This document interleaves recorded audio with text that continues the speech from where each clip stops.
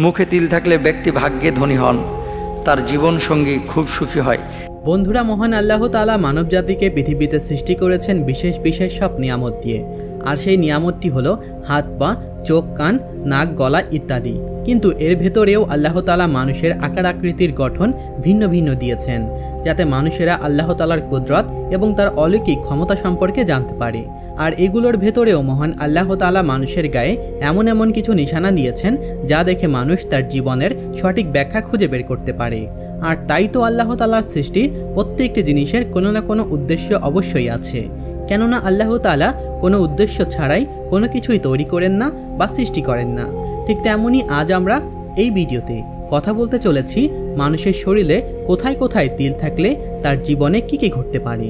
এমনকি এই ভিডিওটির শেষে আমি আপনাদেরকে বলব, শরীরের এমন একটি জায়গায় তিল থাকলে আপনি বুঝে নেবেন আপনি খুব তাড়াতাড়ি ধনী হতে চলেছেন।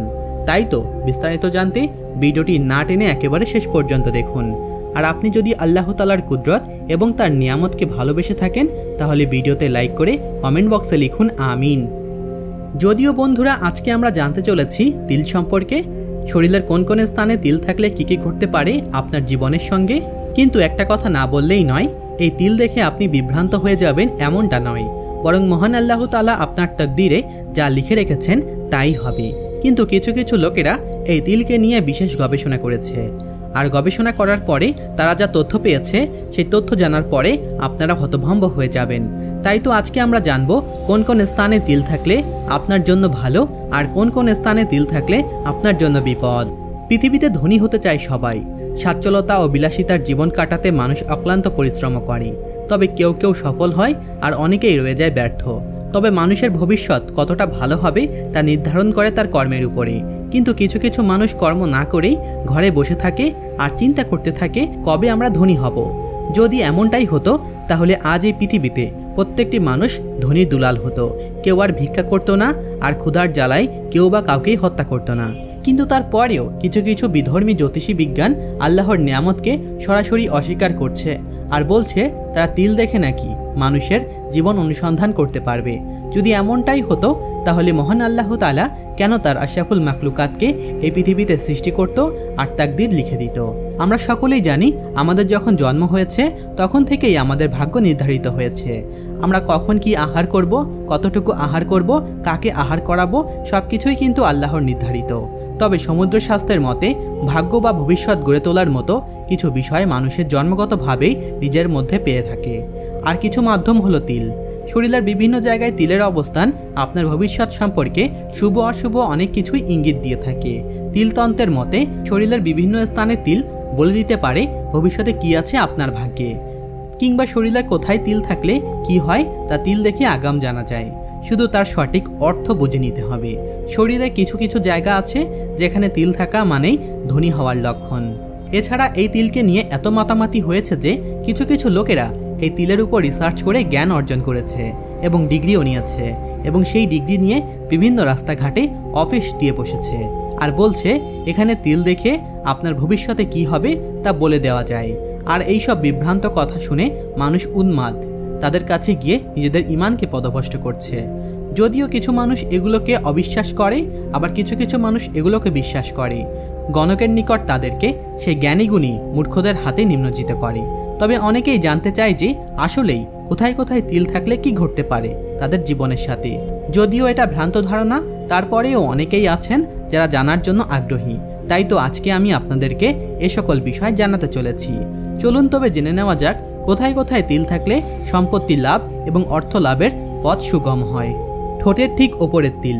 হ্যাঁ এমন স্থানে তিল থাকলে বুঝতে হবে খুব অল্প বয়স থেকেই সেই নারী বা পুরুষে প্রচুর ধন সম্পদের অধিকারী হয়ে উঠবেন। এই স্থানে থাকা তিলের ব্যক্তিরা একটু জেদি স্বভাবের হয়ে থাকে। নাকের ডান দিকে তিল থাকা মানুষটির ধনী হওয়ার ওঠার সম্ভাবনা প্রবল।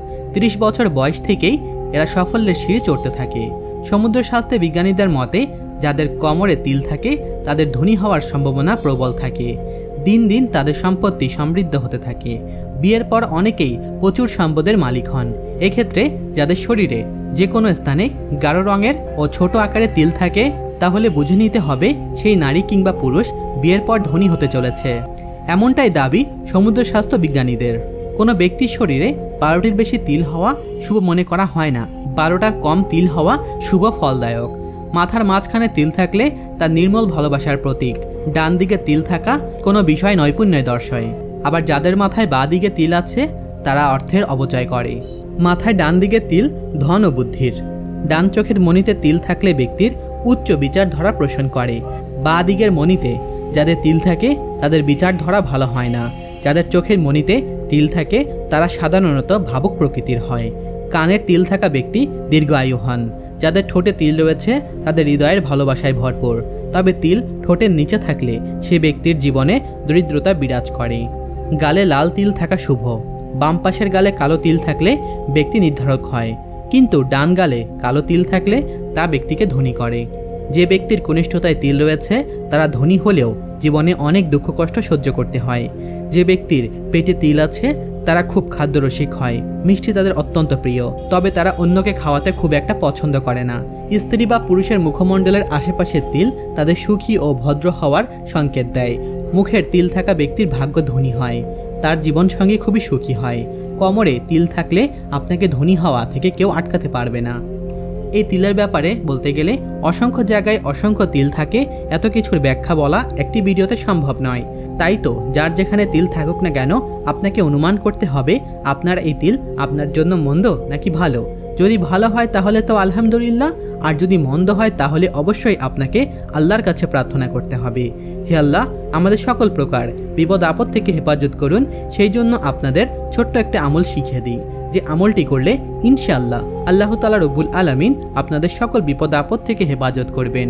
বিপদ আপদে আল্লাহ তালা প্রত্যেক মুমিনকে ধৈর্য ধারণের উপদেশ দিয়েছেন। বলা হয়েছে, হে মুমিনগণ, ধৈর্য ও নামাজের মাধ্যমে সাহায্য চাও। নিশ্চয় আল্লাহ তালা ধৈর্যশীলদেরকে পছন্দ করেন। আবদুল্লাহ ইবনে ওমর আদি আল্লাহ তালা আনহু থেকে বর্ণিত আছে রাসুল করিম সাল্লাহ আলী ওয়াসাল্লাম সকাল সন্ধ্যা কখনোই নিম্নোক্ত এসব দোয়া পাঠ করতে বাদ দিতেন না। লা ইলাহা ইল্লাল্লাহু ওয়াদাহু লা শারিকা লাহু ওয়ালাহুল মুলকু ওয়ালাহুল হামদু ওয়া ইয়ামুতু ওয়া হুয়া আলা কুল্লি শাইইন কাদির। অর্থাৎ আল্লাহ ছাড়া কোনো ইলাহা নেই। তিনি এক, তার কোনো শরিক নেই। সর্বভৌমত্ব তারই, সব প্রশংসা তারই জন্য। তিনি জীবন ও মৃত্যু দান করেন আর তিনি সব কিছুর ওপর ক্ষমতাবান। রাসুল করিম সাল্লাহ আলী ওয়াসাল্লাম বলেছেন, যদি কেউ চায় যে বিপদের সময় তার দোয়া কবুল হক তাহলে সে যেন সুখের দিনগুলোতেই বেশি বেশি এই দোয়া পাঠ করে। মহান আল্লাহ তাল্লাহ রব্বুল আলমিন আমাদের সকল প্রকার বিপদ, আপদ, কুসংস্কার, ভ্রান্ত ধারণা থেকে দূরে রাখার তৌফিক দান করুন। আমিন। আমি আপনাদের সুযোগ সুবিধার জন্য আরও একবার এই দোয়াটি পড়ে শোনাচ্ছি। আমার সাথে সাথে সবাই আরেকবার এই দোয়াটি পড়ুন। লা ইলাহা ইল্লাল্লাহু ওয়াদাহু লা শারিকা লাহু ওয়ালাহুল মুলকু ওয়ালাহুল হামদু ওয়া ইয়ামুতু ওয়া হুয়া আলা কুল্লি শাইইন কাদির।